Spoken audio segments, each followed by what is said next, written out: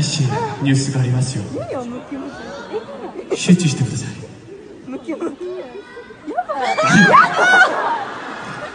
7月24日リリースされたライブ DVD 見ましたか？すごくかっこいいステージを。作ってくれて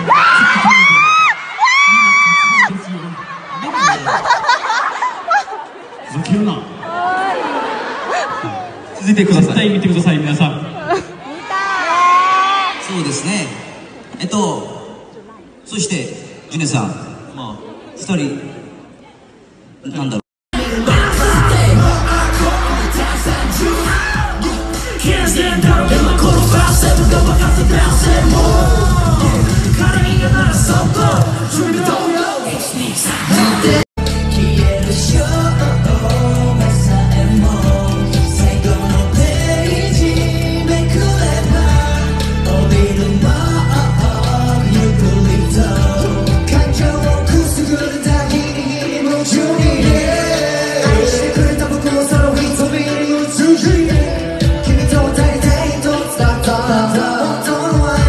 過去に追いつけない音に大切にすると。